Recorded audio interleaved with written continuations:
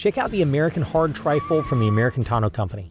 It's a rugged vinyl tarp stretched over a tough aluminum frame with hard panels under the tarp, so it not only protects your cargo from the elements, it also offers security that you can't cut through with a knife. The cover arrives completely assembled, and most applications clamp directly to your bed caps. Opening the cover is easy.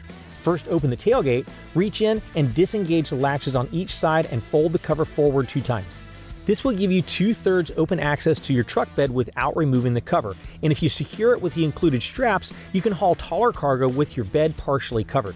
If you need to completely remove the cover, it comes off quickly and without the need for tools. The American Hard Trifold is compatible with the added function of the MultiPro tailgate. It's made in the USA, it has a limited lifetime warranty, and we ship it for free to the lower 48 states. So if you have any questions, call the experts or visit us online.